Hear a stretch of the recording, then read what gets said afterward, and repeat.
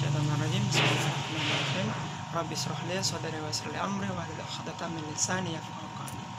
Ya, Hasanuddin Putra Nurma, alhamdulillah dapat amanah sebagai ketua Paskas Pontianak untuk uh, abang kakak siapa pun yang menyaksikan video ini, saya mengajak untuk pada khususnya di bulan Ramadan ini untuk mengajak kepada taubat. Taubat dalam arti apa? Taubat dalam saya Kita ini bukanlah calon mati, tapi pasti mati.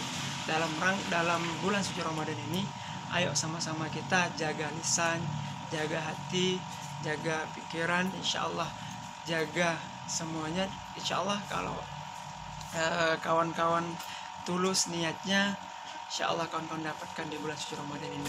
Salah satunya programnya bisa ikut program infak beras, santri berbagi takjil, uh, terus tingkatkan sedekahnya, tingkatkan bacaan Qurannya, tingkatkan istighfarnya, tingkatkan sholawatnya, tingkatkan doa, doa kepada kedua orang tuanya. Hari ini kita suka cari surga yang jauh, tapi surga di depan kita tidak kita kentuk pintu surga. Pintu surga itu adalah kedua orang tua kita.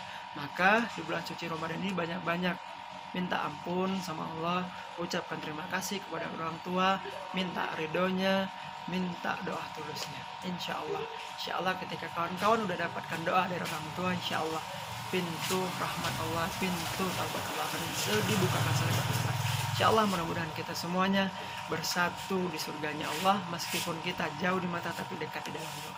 Sekian dari saya. Wassalamualaikum warahmatullahi wabarakatuh